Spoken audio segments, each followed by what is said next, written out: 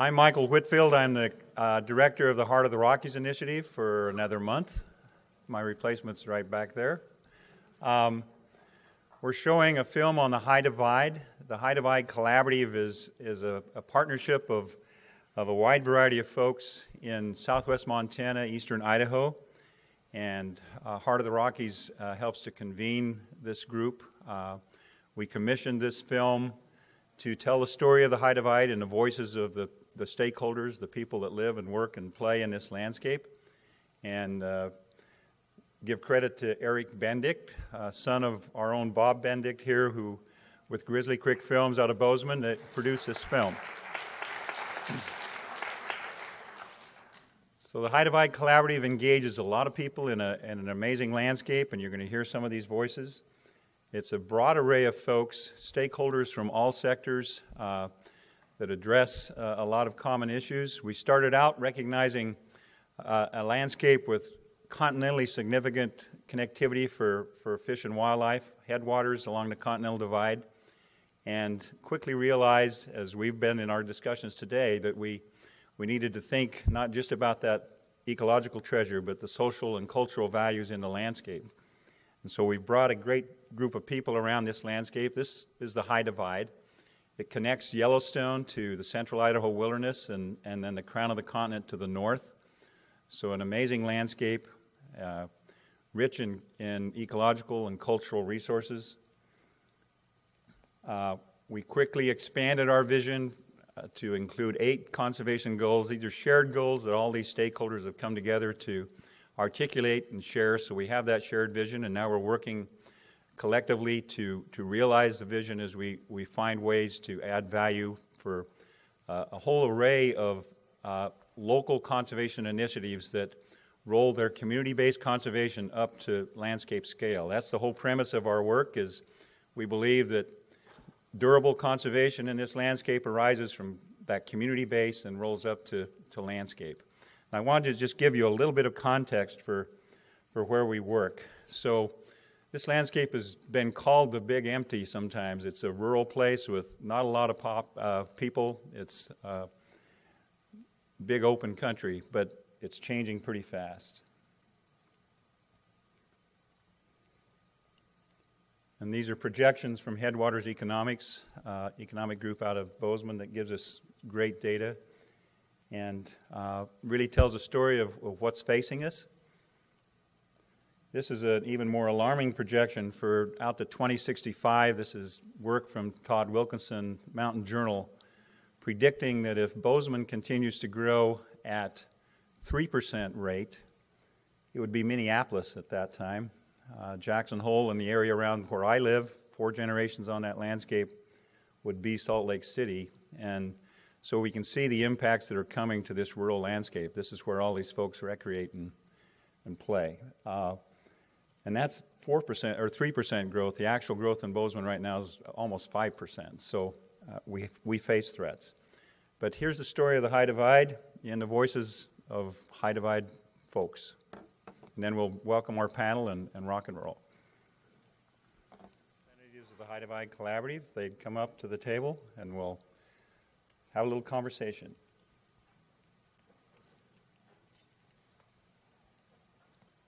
We have two of our movie stars here.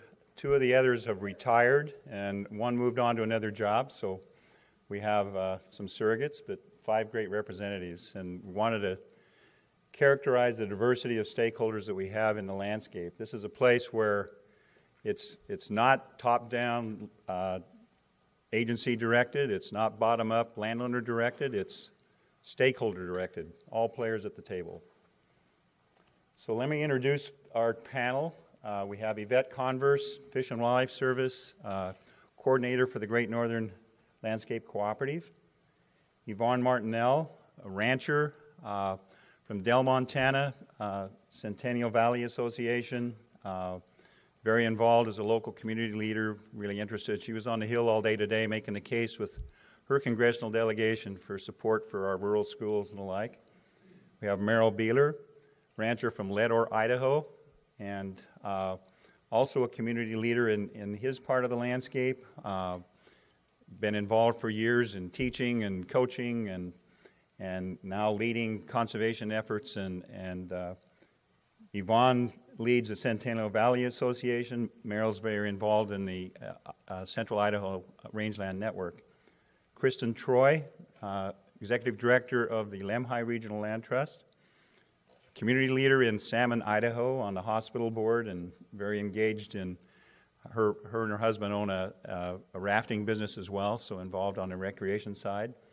And finally, Rob Cavallaro. Uh, he's a habitat director for Region 6 of the Idaho Department of Fish and Game based in Idaho Falls. And Rob's been very involved in all aspects of wild, wildlife conservation for years, formerly with the uh, a land trust, and so has a, a, a, great background there. So I wanted to start out with the panel, and I, I want to start out with Yvonne. Uh, you're, you're part of a uh, generation generational family of, of ranchers in the High Divide. Your, her son's on our, collabor- our coordinating committee. You're, you're talking about the next generation. What, what's special about the High Divide for you, Yvonne?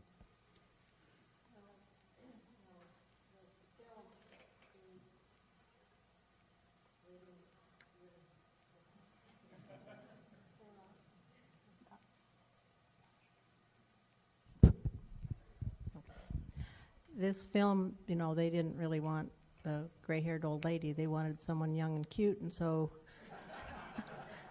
they sent my my daughter was going to do it, and she's in her was in her early 30s, and and it was too emotional. She couldn't couldn't do it. You know, they asked her questions, and it and it's it's just where we're at and what we do and what we take care of. You know, it's uh, we have to make a living at it. And it's not always easy, and, and some of the choices are not not what um, everyone likes, but it's it's just what we do and where we're at, and it's just you know it.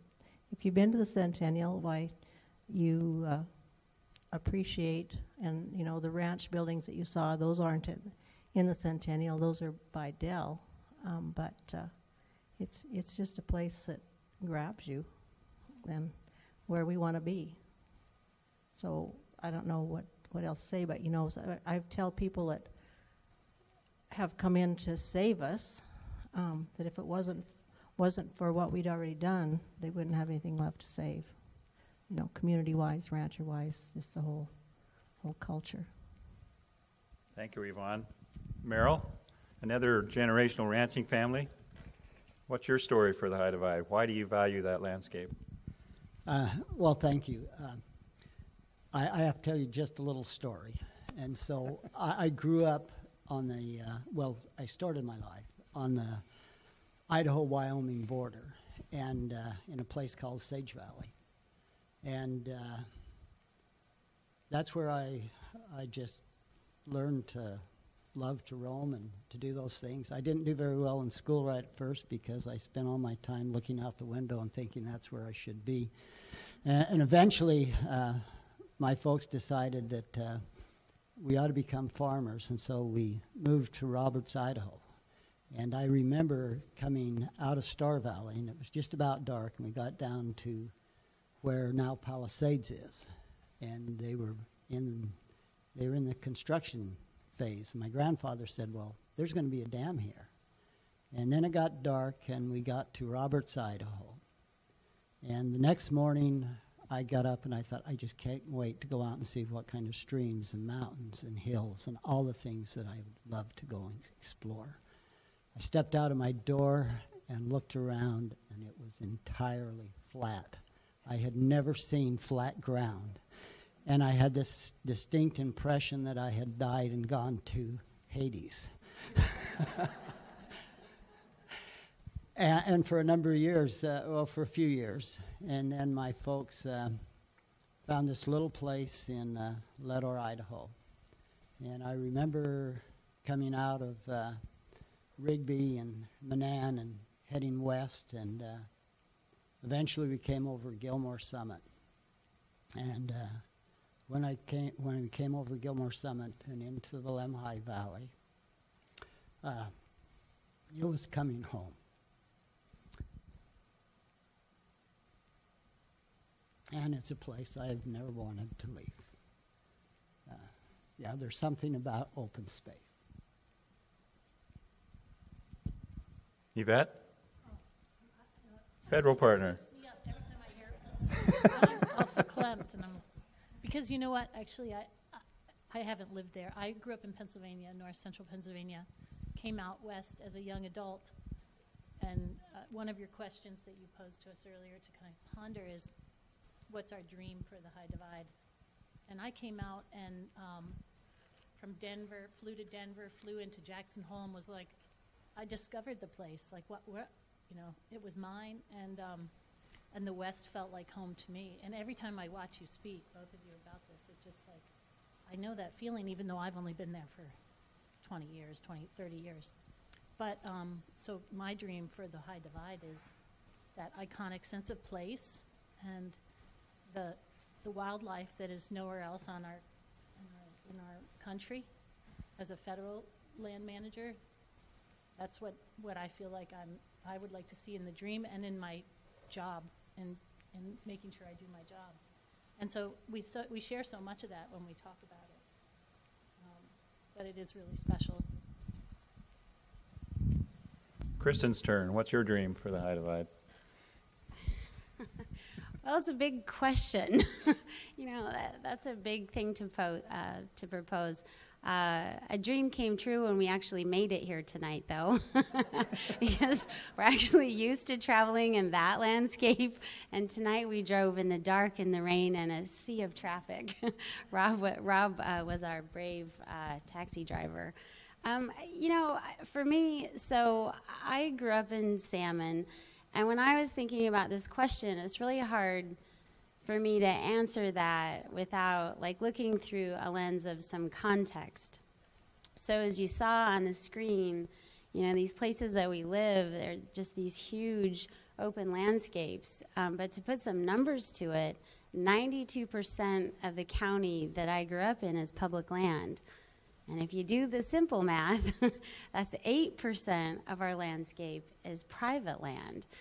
And, you know, people get pretty worked up in our landscape about, you know, private property rights. But when you really think about what I just said, why wouldn't we get worked up about it? We don't own that much of it. And what we do own is the really important lifeblood of the landscape. I always describe it, if I can't show it in pictures, but we saw it, uh, you know, up on the screen, I describe it often as linear.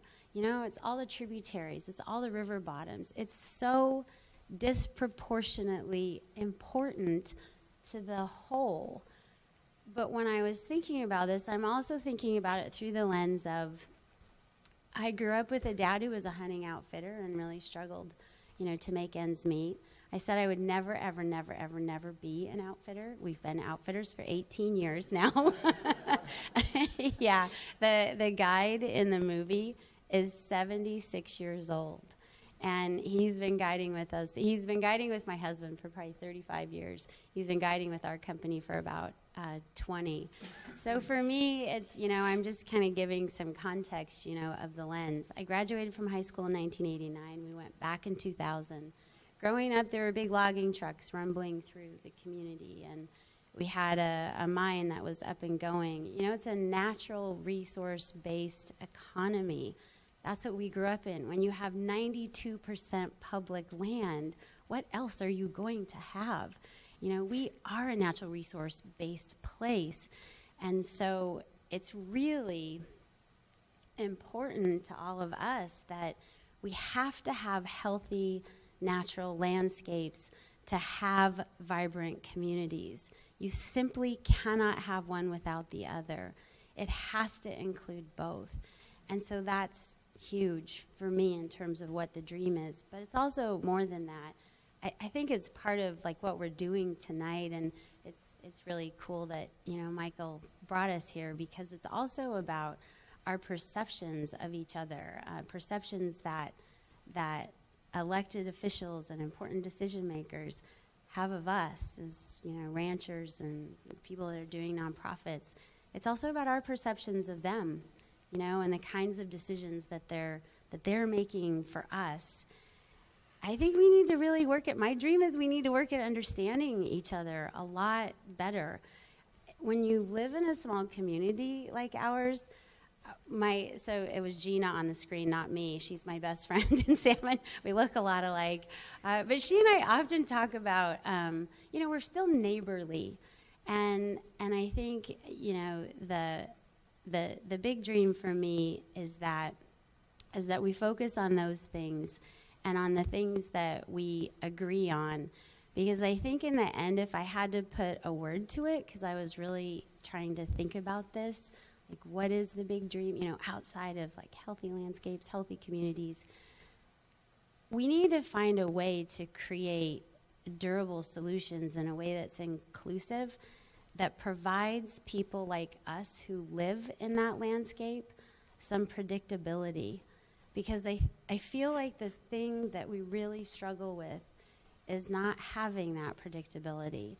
Whether it's how many cattle, you know, you guys can run on the landscape, how many user days we can have on the river, like, you know, what that impact is. We're constantly struggling with that. And I feel like a few times we've all felt as operators maybe that the rug got pulled out from under us a couple of times. So I think the dream for me is a way to get to that place and in a way that um, is inclusive of a lot of voices because it turns out uh, we're pretty okay with that, right? I mean, yeah, we're okay with inclusiveness. So I think that's what I would say. I think our mic died, but if we can get it going again, get Rob going.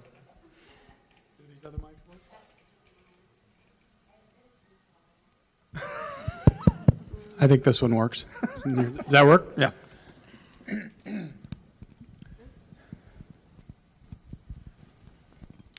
So,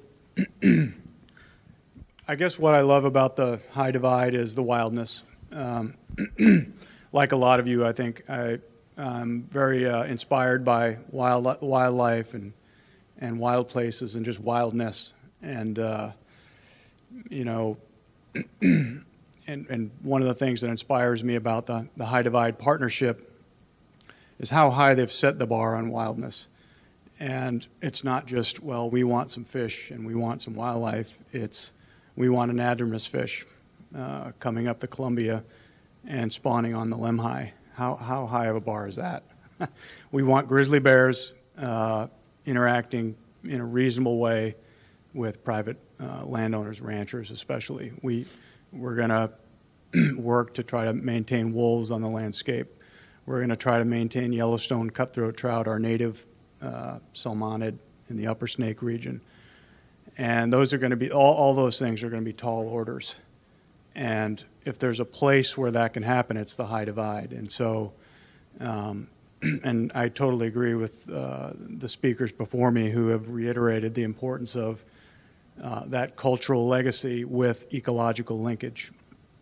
We're not going to have any of those things unless we help maintain the cultural legacy on those low elevation private lands and ranch lands. Uh, all of us here, whether we're from uh, NGOs or agencies, are dependent on enterprise. I'm a state uh, fish and game person, and without enterprise, I wouldn't have a job, and neither would any of us.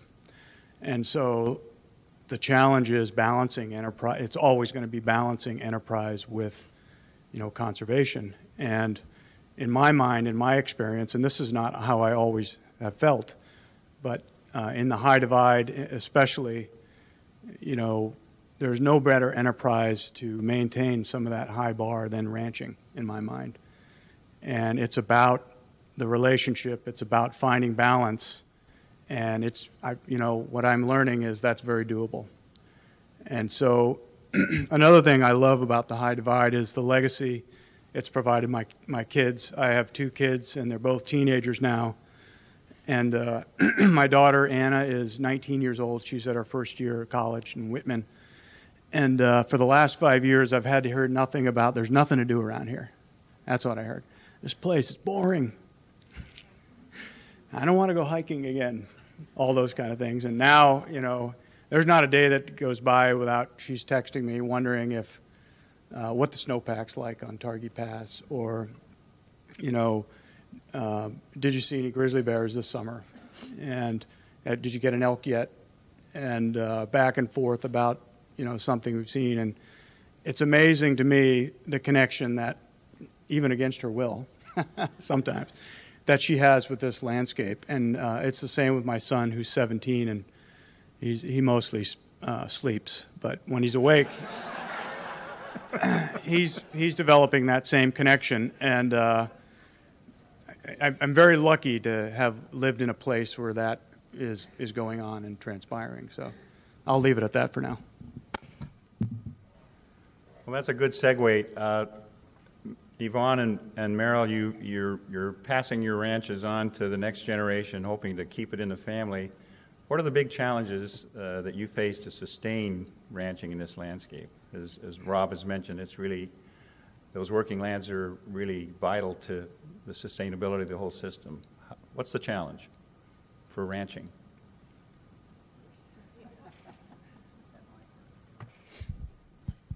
And I'll say, you know, uh, credit to these folks. They they're a little punch drunk. They were.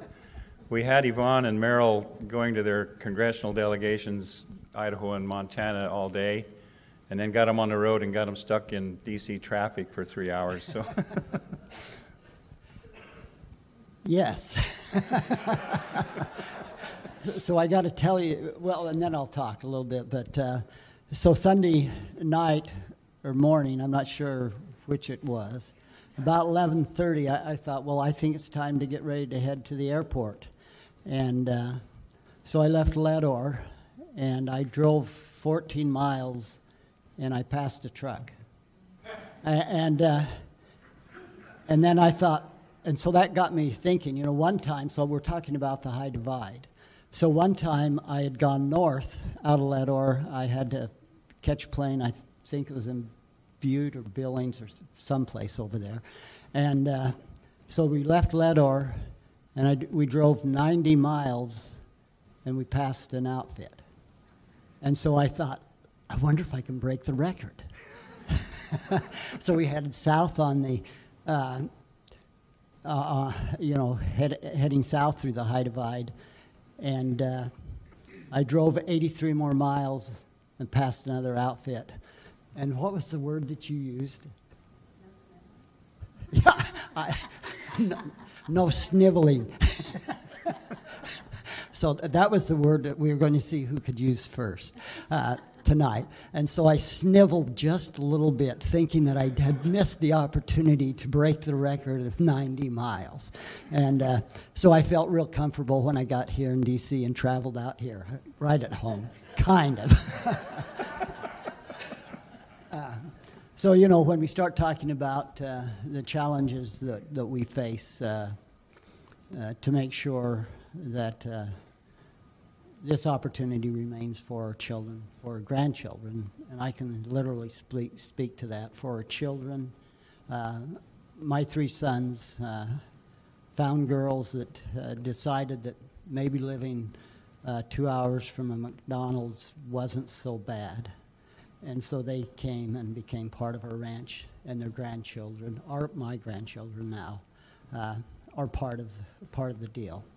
And you know, uh, some of the things I think that we face are, are no different than other folks. Uh, one of the things that we continually worry about is uh, a school. And if you're in rural, uh, isolated communities, the school becomes the heart of the community. That's where we all go and meet and talk and do all those things. And uh, we faced a period of time when the numbers in our schools just uh, spiraled downward. If you go into the rural parts of Idaho, and I suspect in other places, our population of our schools are probably half of what they were uh, a decade or two decades ago. And uh, so when I think about the high divide, one of the things that just makes me smile, one person said, and I think it's true, first we got the fish, and then we got our children. And uh, the work we've been able to do on the high divide, the collaborative work, all the partnerships and those things have created opportunities. And so now our children are returning. Uh, there are other things that we, you know, we, we look at. Uh, And I don't see those as quite as big a challenges. Uh, we look at our, our public lands and the opportunity uh, to access those, and we graze on them. You know, that's, that's what we do as ranchers.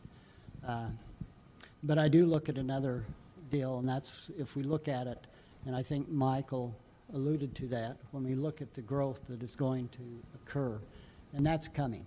There's not much we're going to do about that. But we're going to need to be smart and thoughtful how we handle that growth to make sure that those most important places are protected, and maintained. Uh, we need health care. Uh, we need infrastructure. We need to be able to communicate. All those things are necessary if we're going to maintain an economy in this landscape and to be able to pass that on to our, our children. And I think too often when we look at all that, we think uh, it's publico pro bono, free to the public. But you know, to maintain that, and to make sure it remains for generations to come, I think we're going to have to begin to consider the investment that we are going to have to make as an entire public to make sure these remain. For anyone who's wondering why Merrill doesn't run for office, he already did that. He did an excellent job on that. And um, we have, you know, same issues. Our school is currently has less than 60 students in it, K through 12. Um, scary thought. That's half of what it was uh, 20 years ago.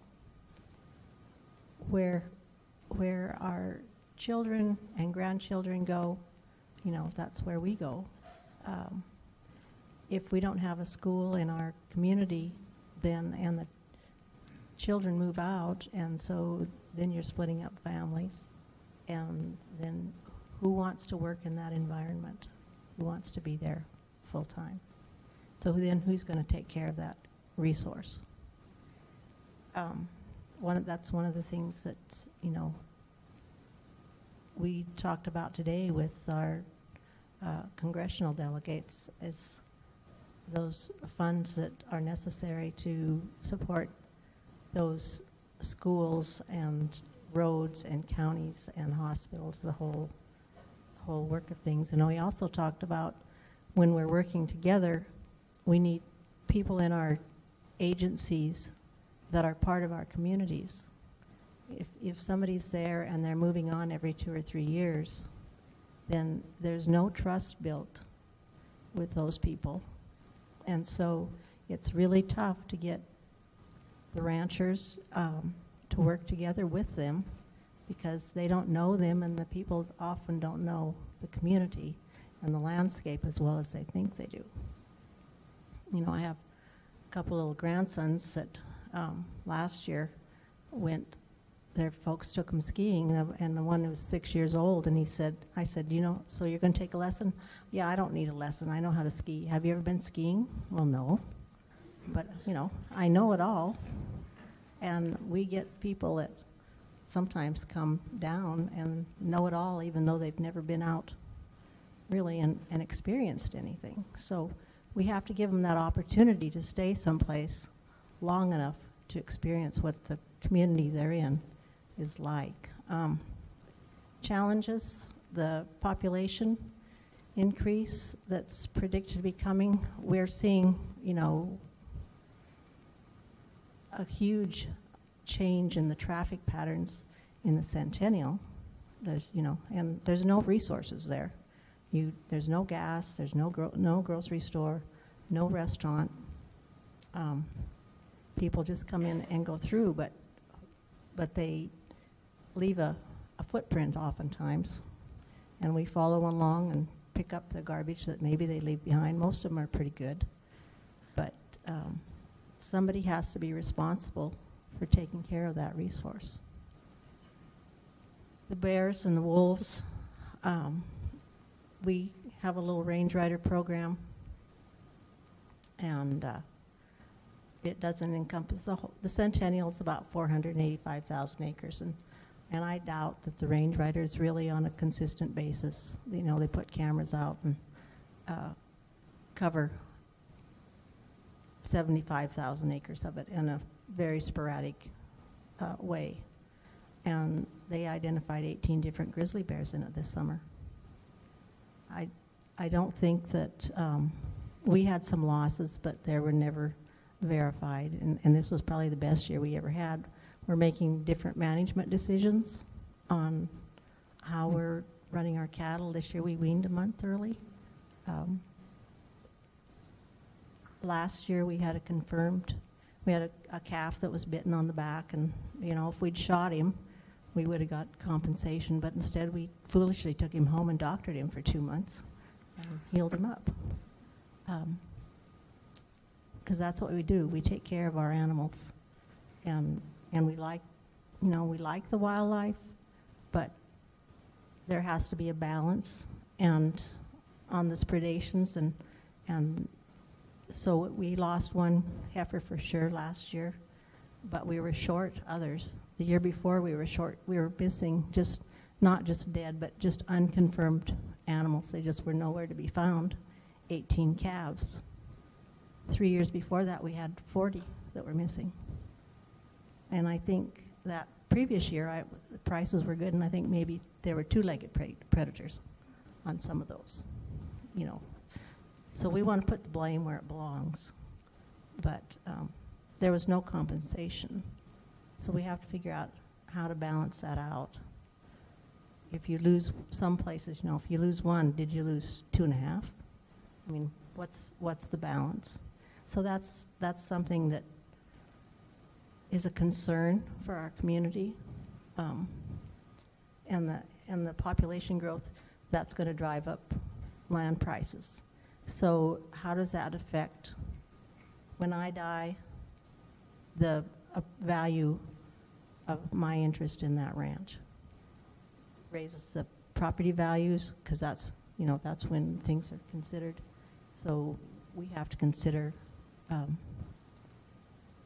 the taxes, if there's still a, a death tax. You know, we paid for that ground once, so do we pay for it again? Just, just lots of little things. We, we think right now that we have it figured out to pass it on to our son and one daughter, or their families. Uh, But then there's the other daughter. How is she treated? You know, fair and equal aren't always the same. So it's just, families have to agree on those things. And so there's, you know, it sounds like, you know, we were talking about retirement and, and things and, and hobbies and, you know, a lot of ranchers, I was thinking, are like the salmon, at least my husband is. You know, you, he uh, works and takes care of this ground and, and uh, goes, goes and goes and goes. And when he dies, that's because where he's at, because that's where he wants to be. He's still taking care of the ground. Thank you. Uh, Yvette, we talk about community-based conservation, and, and you work with an effort that's really, really huge in terms of the, the Great Northern, the, the landscape you work with. What's the benefit of that community-based conservation to landscape conservation? And for those of you that don't know, I have met these folks before and have talked with a few of them, but I don't work closely with them. I'm actually kind of filling in for the local Forest Service person who couldn't make it. Um, so I represent Fish and Wildlife Service or a perspective from the federal government. Um, I've been in this position as an LCC coordinator for eight years. And uh, before that, I had an aquatics background, working in ES, working in a fish research facility and um, working with a lot of partnership programs. So what I've learned coming to this is, uh, and I really came into it because my background working with partnerships, and uh, what I've learned is that um, to really be effective uh, at at convening, at creating a regional context for the work we do locally. The action happens locally, but creating that regional context, you have to empower the local communities, the local people, and the leaders to do that work. Um, so that's how we run our LCC. It's really about empowering this network that feeds the local communities to, to do the work and lead the work and decide how they're most relevant in that larger context. And we help to provide that context and we help to provide that capacity, which is part of what's missing in all our programs. The capacity, meaning the money to pay somebody or to have somebody be able to travel to meet and sit down and spend the time and to have to be able to figure out ways to share the information and spend the time doing that where our mandates as agencies or in organizations don't allow us to do that. Um, so that's what I think is what I've learned in the last eight years, and I think that's a critical piece that I, I don't want us to miss as we start to learn lessons about collaborative conservation. Um, you know, we didn't come at this as managing, you know, sort of a bunch of uh, uh, uh, partnerships on the ground. We came at it as there's a larger context, and can we bring partners to the table and let them inform what their relevance is to that larger context? Merrill, in the, in the film, you talked about creating this safe place for people to change perspective. Can you describe that a little bit, what that means, how you get there? Oh, okay. uh, yeah, it, well, we talked about this today a little bit uh, when we were on the Hill. We talked about uh, uh trust, and you know how how do you create trust within a community? Uh, so there are a couple things that come to my mind. Uh, we we wean calves about oh maybe a, a, month and a half ago, and that's always kind of an interesting time on the ranch, I can tell you that. There's a lot of bawling, and we try to do it the very best way we can. We do it through the fence, and the first day, you know, those calves are right along the fence line. They don't want to leave mom at all. And so we don't do anything that very first day. We just let them be right along the fence line. They can look across, and the cow can look back across. Uh, but on day two, you're going to see those calves kind of starting to move out a little bit away from their from their mother. And this is a real critical time on a ranch. Uh, this is a time that you better get out and walk and just stand among those calves. And you want to do that for the next three or four days. And you know, when you do that, they begin to identify you as not a threat, but as someone they can walk up to and actually smell and sniff and do those kind of things. And so you, be a, you build a trust in them, or they build a trust in you. And uh, when you have to ask them to do things uh, later on, it becomes a lot easier. And so I think that's kind of exactly the same thing that you have to do. First of all, you have to cre- create that proximity and I remember when I first became involved, kind of in this in this kind of a way. Uh, uh, the the very first person that ever created proximity for me was a fish and game person by the name of Tom Curette, and he came into our driveway, and I still remember it very distinctly in my mind. It was in the middle of July. We were haying, and I was under the swather in the driveway not a good time for anybody to come and visit a rancher. And so I remember him pulling in the yard, and I was under it, and I knew it was a pickup, and I looked out and I saw the insignia of the fish and game. And the first thought that came to my mind was, I don't think I've done anything illegal today. uh, so he was sort of sort of like me and the calves, you know. Uh, he just came and we began to talk and spend some time, and it created a, a great relationship. Uh, the second thing that I think is is really really important. You're never going to create trust. You're never going to be able to create a working relationship if uh, you're not trustable. Uh, if you come with an agenda if you're not willing to listen, if you're not willing to open your mind and look at different ideas and respect those with different ideas. And so, uh, yeah, uh, I, I think we just happen to get the right people, and Kristin and all these others that are here with me. uh, we're the right people in the right place at the right time. And once trust is created, then the work begins. And the more trust that you have, the faster the work, the more you get done. And uh, that's it.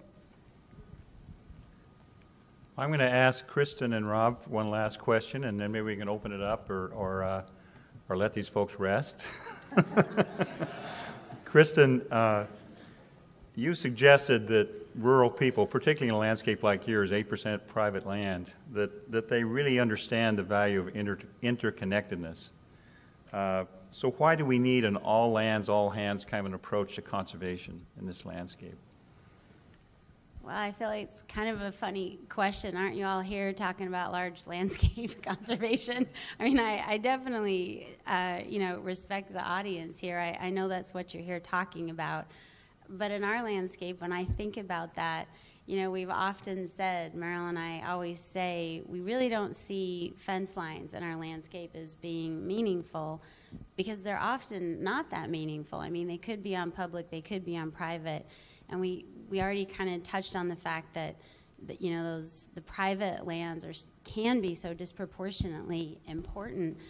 But it's also important to imagine, like on Merrill's Ranch, for instance, um, that I'm pretty familiar with, and, uh, and 99% of the ranches in our landscape run on public grazing allotments. And in terms of acreage, I would say a lot of them make up at least uh, the public acreage makes up about what two thirds of the ranch in some cases, maybe more. Maybe more. You know, maybe three fourths. Maybe well, a lot. in other words, so so you know you have you have those kinds of examples. The uh, Chinook spawning, you know, we saw such great footage in the film. Up to 90% of the most critical habitat for our Chinook salmon that swim 850 to 900 miles inland are found on private land. You know, critical winter habitat, you guys know this, they all come down on private land. There just has to be, you know, that interconnection. You can't have one without the other. And we talk about all lands, you know, the public and the private, but also all hands. And, and that's also been alluded to in terms of the, you know, the inclusivity with how uh, we get our work done. And for us in our landscape, um, it has the Chinook salmon have been that. Uh, might have been you that used the word connective tissue. Somebody did at one of our uh, one of our meetings a while ago. But they really have been the connective tissue in our community to help us bridge those gaps and really, really think about that. And of course, there's plenty of other species that do that as well. Um, but it's critical. I don't think that we can do this any other way if we don't approach it like that. The question I wanted to pose to you, Rob, and, and you talked about wildness and wildlife. Those, those are what drive uh, a lot of your values. Uh, and we've, we've talked about, you know, coming together and singing Kumbaya together. Can we really, can we really uh, get meaningful conservation when we're engaging all these array of perspectives and, and trying to find that common ground? Does that lead us to a good outcome? And you've talked about that high bar. That's what we're shooting for. Sure. Um, I think it's the only way to get there. Um, as, as a fish and game uh, person, one of the things I, I, have been with Idaho Fish and Game for 10 years, and one of the things that I've learned is um, that a lot of what you do is reactive. You're reacting to the public who is, uh, in, in many cases, in a state of conflict with wildlife, whether it's suburbanites who have skunk in the crawl, uh, skunk in the crawl fates or bats in the attic, or I mean, daily these these calls come in, and some of the most crucial and important conflicts are with you know large landowners who are trying to make a living on, on their lands, particularly in the winter, when elk are in the stackyards or uh, in the feed feed lines with the cows, or you know that's a real that's a real issue that has to be solved um, for that enterprise and for us to get along. And and you know, in some cases, literally grizzly. We've had grizzly bears on somebody's porch And so when that happens, you go out and you deal with that, and you're often in a reactive or even an adversarial relationship with landowners because of that. Because they're your at that point they're your wildlife. It's just like when your wife says that's your son, get your son out of here. Uh, when something happens bad with wildlife, that becomes our wildlife. And uh, get your grizzly off my porch, which I understand that one. And uh, but you know what what has been really interesting about the you know uh, conservation collaboratives that I've been involved in is you know it it helps change that relationship um, from reactive and adversarial to more collaborative. You know it it provides a, a table you know just like you say a safe place where you can sit down and say all right. Uh, I didn't like the way this guy handled the elk in my stack yard, but I, you know, see his point on this issue, and I think I can work with him and, and grow from there. And if we as an agency are only reacting to problems with elk and grizzly bears or whatever, then we're not really getting anywhere.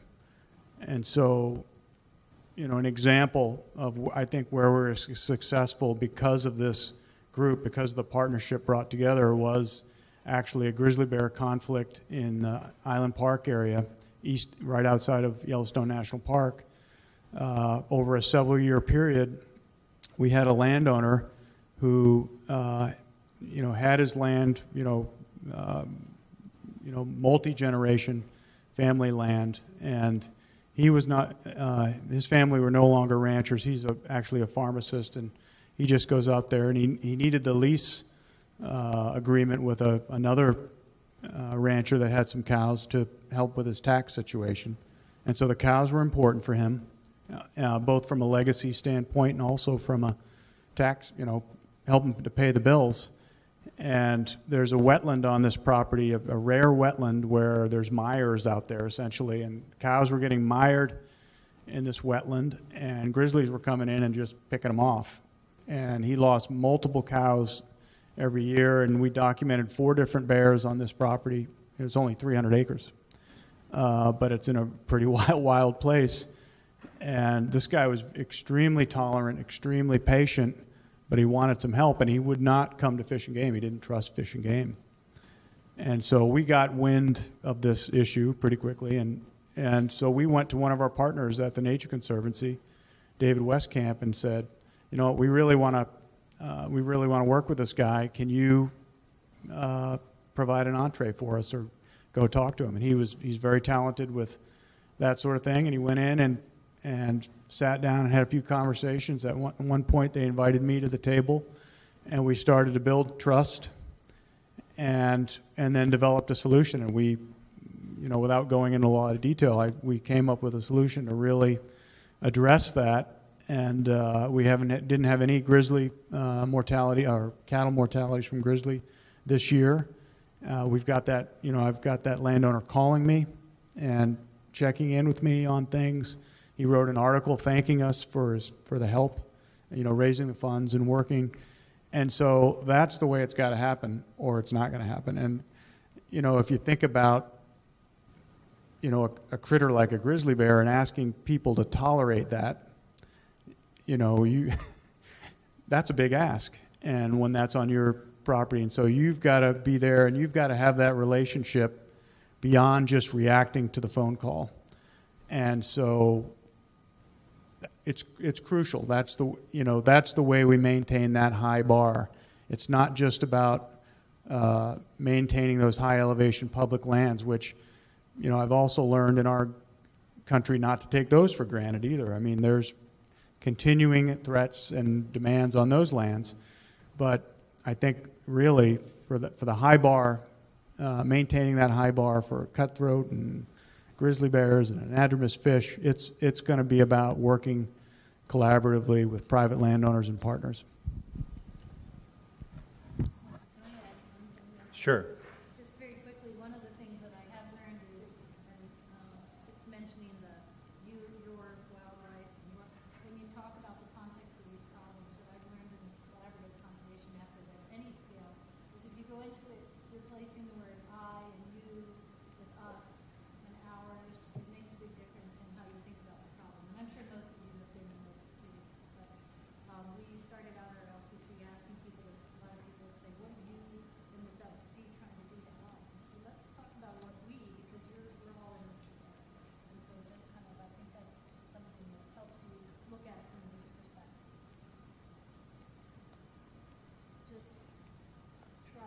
Can you share the mic there? Is it still working?